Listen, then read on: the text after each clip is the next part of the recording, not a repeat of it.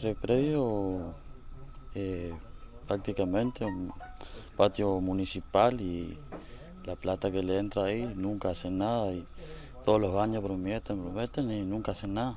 Siempre lo mismo, nunca se arregla. Y es una... Está parado y unos te llegue, te, te va, te cobran igual. Y siempre es lo mismo. ¿Cuánto le cobran por estar aquí por cada día o cómo pagan? Eh, te cobran 90 pesos por día. Llegaste, saliste 90 pesos. Y prácticamente tienen un baño en pésimas condiciones. En pésimas condiciones y esto es un, la verdad, un chiquero cuando llueve. Eh, estoy del martes. El martes he llegado acá y, y estoy como todo con cebolla, la misma mercadería que están todos acá creados. ¿Qué es lo que pasa? ¿Por qué se demora tanto en cruzar el transporte, los camiones con carga eh, para exportar productos, materias primas hacia Brasil? No, y la verdad que acá en esta aduana no sé cuál es el problema, ¿no? Porque nosotros vamos mucho también a Foya, Dionisio Sequeira y, y allá es, es, rápido, allá en dos, dos, días, tres días, pues ya está volviendo vacío ya de Brasil, ¿no?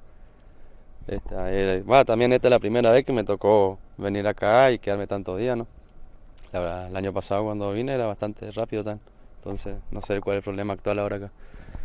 ¿Cómo es eh, esta playa de estacionamiento? ¿Tienen algún tipo de servicios? Este, veo que es una, una playa de estacionamiento sin ningún cerramiento, no tiene ningún perímetro. ¿Cuentan con algún baño, algo como para brindarles algún tipo de servicios a los transportistas que vienen aquí a esperar varios días para trasladar la carga hacia Brasil?